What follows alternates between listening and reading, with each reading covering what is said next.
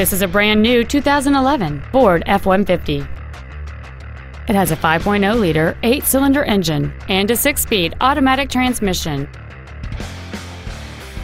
Its top features include a driver's side entry keypad, four well-positioned speakers, a double wishbone independent front suspension, automatic locking wheel hubs, an engine immobilizer theft deterrent system, 12-volt power outlets, a low tire pressure indicator, traction control and stability control systems, an anti-lock braking system, and a limited slip differential. Stop by today and test drive this vehicle for yourself.